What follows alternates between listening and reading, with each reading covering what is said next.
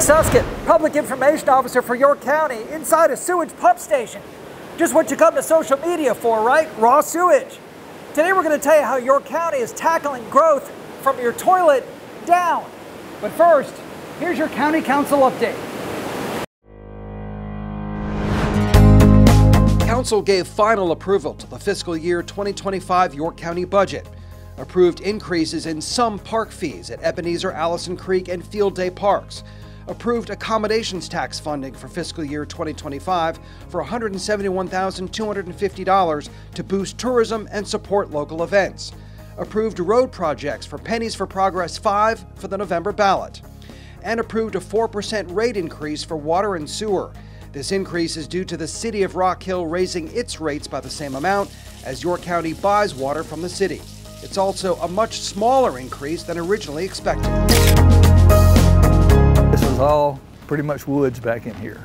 Our utilities program manager, Barry McKinnon, has a great motto when it comes to sewage. This is the phrase we live by keep it in the pipe.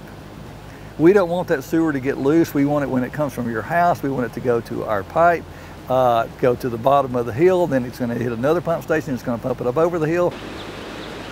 Pump stations like this one at Crowder's Creek and Lake Wylie do a lot of work. If it goes down your drain, it comes here. When this one was put in in the 90s, it pumped about a million gallons a day. Now, it pumps 4 million. That's because 25 years ago, none of these neighborhoods or businesses were here. Massive growth has led the county to begin building new pump stations that can handle 12 million gallons a day.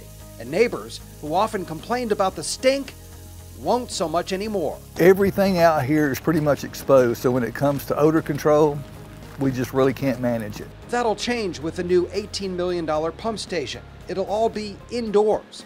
If you're wondering where that 18 million is coming from, 8 million comes from your water and sewer bills.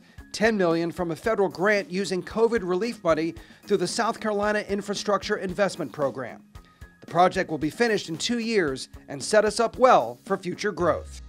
Heads up, a major Fort Mill area road project will be underway in just weeks. Highway 21 will be widened from Springfield Parkway to I-77 and Highway 51 will be widened from 21 to the flea market at the state line. Crews will begin clearing trees and moving utility lines next month. Thanks for watching York County Now. Sometimes when it comes to making a difference, it's the things you see, and sometimes it's the things you're glad you don't see. We'll see you next time.